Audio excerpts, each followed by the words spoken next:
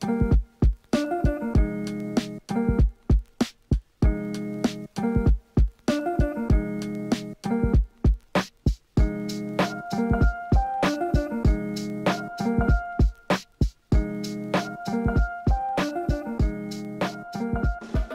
Hey there, got a big day today planting out garlic and I have never planted garlic so I'm really excited about this. And we had a big storm roll through yesterday and overnight and so it's very breezy still right now.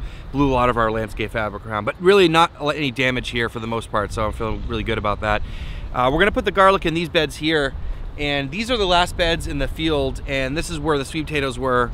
And I, for me it makes the most sense because a garlic doesn't need a lot of attention and it's gonna be in the ground for a long time so I wanna keep it as far away from the center as farm as possible because we don't need to visit very often. And also these beds with the sweet potatoes got dug up pretty good when we were pulling the sweet potatoes out so they're kind of in rough shape. So they're kind of good candidates for this anyway. So that's what we're gonna do today. Uh, I bought 10 pounds of garlic, which isn't that much. We'll get into that a little bit later. But first thing is we gotta start prepping out these beds.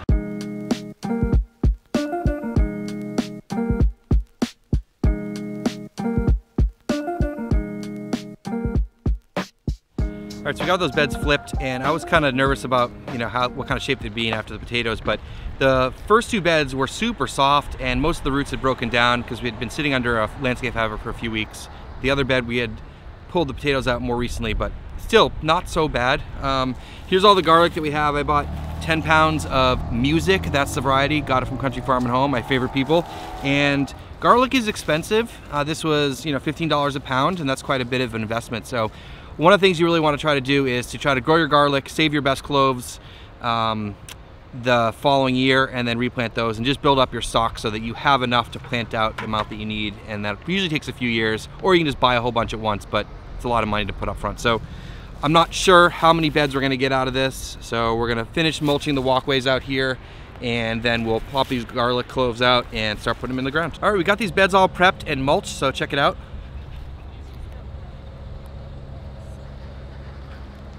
They look great. Uh, as I said, I was a little bit nervous about getting these beds prepped just because we uh, had the sweet potatoes in here and they were really chewed up, but they're actually really fluffy. And I really think that keeping that landscape fabric on there for a couple weeks helped break some down, break down some of that root material. And so, yeah, the beds look great.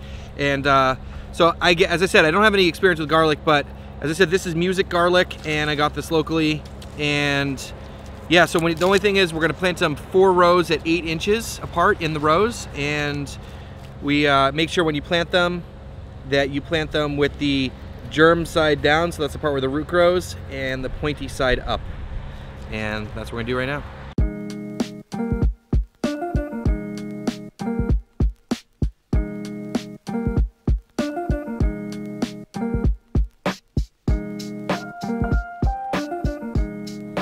We got all that garlic planted and we didn't have quite enough to do three beds, but uh, the last bed we kind of spaced out a little bit more, but I'm getting it watered in. It's kind of windy out today, so I'm gonna go move the camera somewhere else so I don't get hit with the sprinklers. Well, I'm just super excited about planting garlic, not only because I've never planted it before and I'm really excited to learn how to grow it and, you know, add another crop for our diversity next year, but also the fact that it's sort of a commitment for this farm for next year and for future seasons. And, you know, as this 2020 growing season is winding down, I'm just realizing, you know, the more connected I feel with the earth and this land here, because I spent so much time here and, you know, grew a lot of food here and it feels great. And I'm just really optimistic about next year. I think that's one of the best things about farming is that there's always next year, there's always next season, there's always the next planting.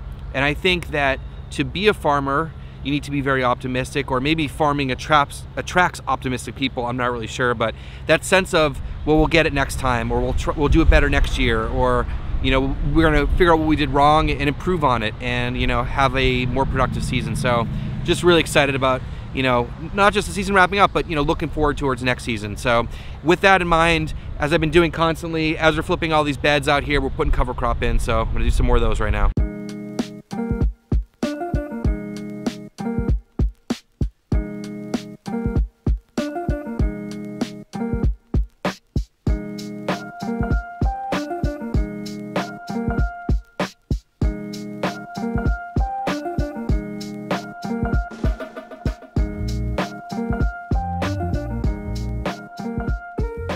couple more beds planted with cover crops as we push towards the fall and winter. Just an awesome day planting out garlic and just thinking ahead to next year and being optimistic about all the things coming up and just pushing as much as we can to improve our soil and work towards having really healthy living soil so that the biology is active and happy in the springtime when we need to plant.